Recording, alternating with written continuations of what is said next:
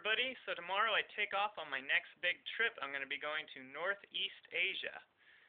I'll first be flying into South Korea, where I'm going to buy an inexpensive bicycle and ride around to the various national parks over two weeks. Then I'll go to Beijing, see what's changed in the last five years since I've been there, and then I'll fly into North Korea with a tour group and see the sights before heading home to California. I'll be trying to do some video updates occasionally, as long as I can find uh, accessible Wi-Fi networks. Um, now, so be sure to check back. So now I've got the monumental task of fitting everything I've planned to take into one backpack.